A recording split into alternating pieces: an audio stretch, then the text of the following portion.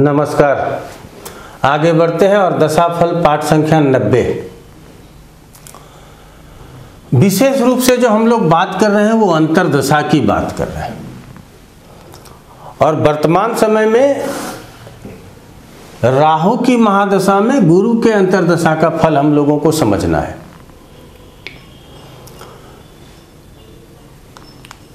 तो हम हमेशा क्या कहते हैं कि दशा दो प्रकार से फल करता है, साधारण और विशिष्ट।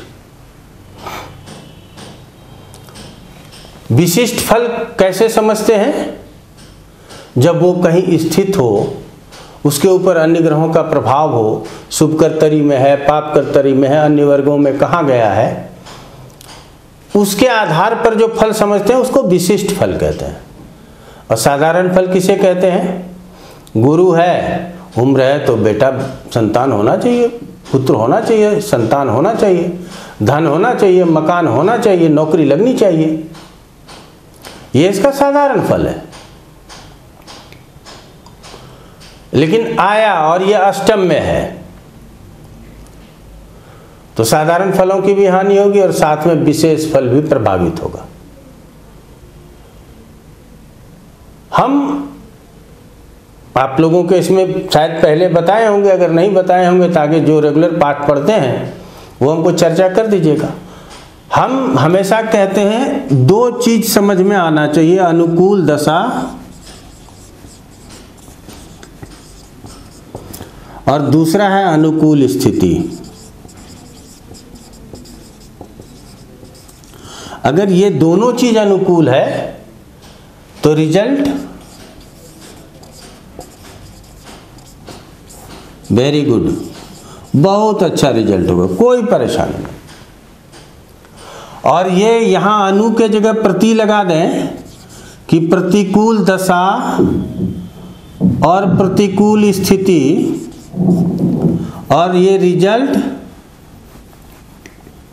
वेरी हटा देते हैं बैड लिख देते हैं। अब ये साधारण समझ रखना ही चाहिए। दूसरा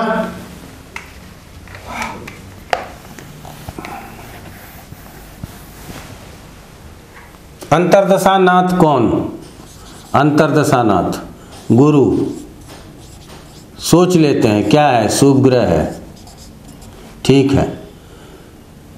काल पुरुष में स्वामित्व कहाँ का रखता है? नाइन्थ का और ट्वेल्थ का। ठीक है। स्थिर कारक कहाँ कहाँ का है? सेकेंड का फिफ्थ का नाइन्थ का इलेवेंथ का। इसका मतलब है कि अच्छा और बुरा बिना कहे, कहीं भी स्थित है तो इन भावों का अच्छा और बुरा फल कर ही सकता है। अच्छे स्थिति में है तो अच्छा फल कर देगा, बुरे स्थिति में है तो बुरा फल करेगा। अभी पत्रिका में नहीं पता हमें कहाँ का स्वामित्व है। हमें सिर्फ़ ये पता है कि राहु में गुरु की अंतरदशा है। और हमने ये चीज़ लिखा, ये सभी को मालूम है। ऐसा नहीं है कि जो हमारे रेगुलर पाठक है उनको मालूम है। अब इसके बाद विशिष्ट फल के लिए, अब साधारण फल के लिए इसको समझ करके बोल सकते हैं। अब विशिष्ट फल के लिए क्या है? अंतरदशानाथ फिर वही गुरु है।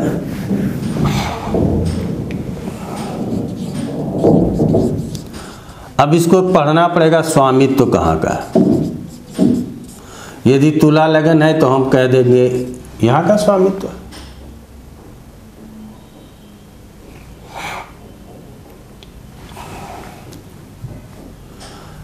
मकर लगन है तो यहाँ का स्वामित्व।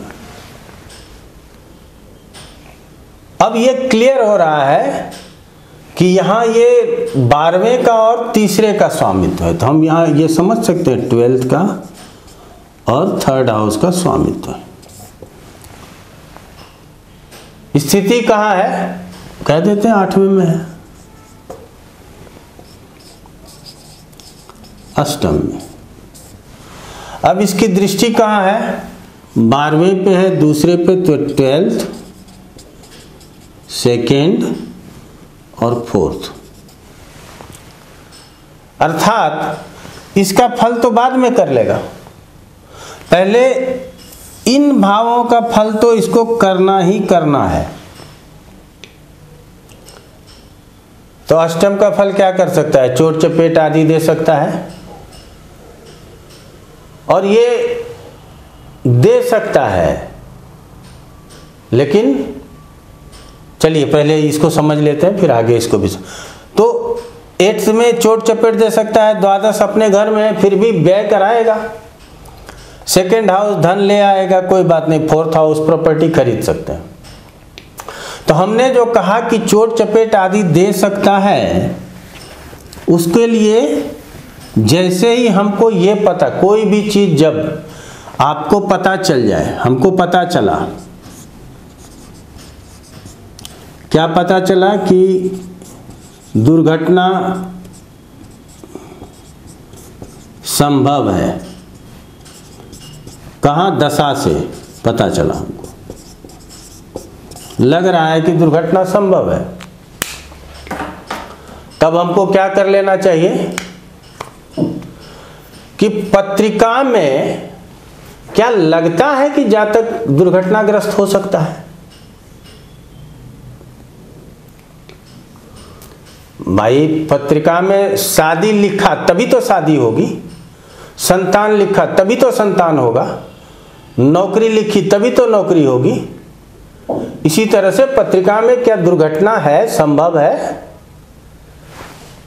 यदि दुर्घटना संभव है तो उसको कब कब कौन कौन सा ग्रह एक्टिव करता है? और फिर ये समझना होगा कि कौन सा ग्रह सबसे ज़्यादा सबल है। कि इस बार नहीं बचोगे? इस बार तो गिराएँगे, चोट लगाएँगे। तो ग्रह की स्थिति और दृष्टि से यदि हमारा कोई रिज़ल्ट बोलने का मन करे तो उस रिज़ल्ट के होने की संभावना डीवन चार्ट में एक बारी चेक कर ही लेना चाहिए। अगर संभावना प्रबल है तो हम प्रबलता से बोलेंगे। और फिर उपाय भी बताएँगे कि यहाँ भाई बहुत भयंकर दुर्घटना हो सकती है। आप महामृत्युंजय कराइए। ये सलाह ज़रूर देंगे। लेकिन वर्तमान समय में क्या है, उसको पता ही नहीं है। होगा क्या, आगे क्या होने वाला है, नहीं होने वाला है, या पत्रिका, खैर चलिए, इस पर नहीं पढ़ना चाहिए। आप लोगों से आग्रह करेंगे कि दुख तो होता है, लेकिन पॉजिटिव अप्रोच लेकर के चलें। और हम लोग सीखें। हमारे परिश्रम करने का मतलब सिर्फ़ ये नहीं है कि लोग आप हमारे पास पत्रिका पूछने आइए, हमसे पढ़ने आइए। ये ज़रूरी नहीं है। जितने लोग YouTube पे पढ़ते हैं, उतने यदि हमसे पढ़ लें तो शायद हम पढ़ा भी नहीं सकें। तो हमारा कहना है कि सबसे पहले ये जानना ज़रूरी है कि घटना होगा या नहीं होगा। और घटना होगा तो कौन सा ग्रह उस घटना को देने वाला होगा? और जब ये स्पष्ट हो जाएगा, तब उसकी दशा अंतर दशा में जाकर के हमको वो चेक करना है। और वो गुरु दे सकता है, शुक्र दे सकता है, ये यदि कोई सोच के बैठे हैं कि मंगल ही देगा तो ये गलत सोच करके बैठे हैं। वो दुर्घटना का कारक है, कारण नहीं है। तो ये विषय आप लोगों को समझना पड़ेगा। इसलिए मैं हमेशा कहता हूँ कि दो, चार, पाँच मिनट, और जिस दिन जैसा मूड होता है ना, उतना अच्छा आप लोगों के समक्ष बोल पाते हैं। तो इसको पढ़ते रहिए तो बड़ा लाभ मिलेगा। तो हमने कहा कि गुरु की अंतरदशा में बचपन में आई है तो क्या हो जाएगा? थोड़े हेल्दी हो जाएँगे भाई। अगर उस समय हमको कोई बोलेगा कि ये तुम्हारे अंकल लगते हैं, पाँव छुओ तो छू लेंगे। मंगल की दशा आएगी तो देहात खींचेंगे, नहीं छूना पाँव हमें। ये छोटे छोटे गुण भी तो दिख सकते हैं। और 25-30 साल की उम्र में होगा। तब क्या चाहेंगे? घर हो, गाड़ी हो, मकान हो, शादी हो, नौकरी हो। इसकी कामना होगी। तो वो पूरा कर सकते हैं। और केंद्र त्रिकोण और लाभ स्थान, इसमें इसमें इसमें इसमें इसमें इसमें है तो गुड। अच्छा बोलेंगे। कोई प्रॉब्लम नहीं। यहाँ का स्वामी तो रखा। तो एक बात का ध्यान रखेंगे कि यहाँ का स्वामित्व रख करके यदि यहाँ बैठ गया तो इसको प्रॉपर्टी खरीदने में हमेशा परेशानी होगी। घर से, घर में मन नहीं लगेगा, घर से दूर रहेंगे। द्वादश में मूल त्रिकोण है?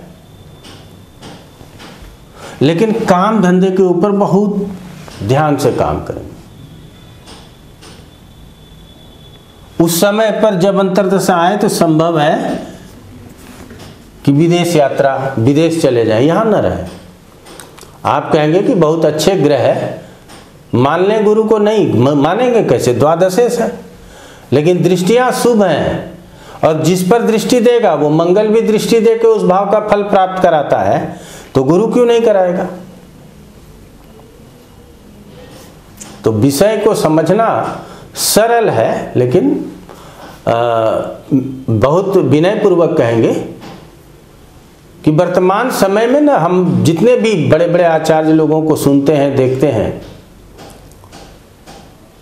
पता नहीं कौन सा दिमाग काम करता है या किस प्रकार से उन्होंने ज्ञान लिया कि आपको पता ही नहीं चलेगा कि वो ज्योतिष वैदिक चल रहा है या किसी और व्यवस्था से, क्योंकि सब जगह तो यही गुरु को ही ग्रह मानना है ब्लेसिंग के लिए, शनि को ही दुख देने के लिए ग्रह मानना है, या जैसे भी जो लोग मान रहे हैं। तो आपके तो समझ में आएगा नहीं। और पता चला कि थोड़ा वहाँ से लेकर पढ़ा दिए, थोड़ा यहाँ से लेकर के पढ़ा दिए। आपका सिलेबस खत्म हो जाता है, लेकिन न ज्ञान बढ़ता, न विश्वास बढ़ता। और यहाँ आपका दोनों चीज़ बढ़ेगा। और वही अब गुरु यदि छठे, आठवें, बारहवें में बैठा हो, स्वराशि का बैठा है, फिर भी, जी सर, फिर भी, मारक खंड कभी पढ़ाएँगे तो बता देंगे। स्वराशि में बैठे द्वादश में ग्रह हो, आठवें में ग्रह हो, छठे और दूसरे में तो वो भी मारता है।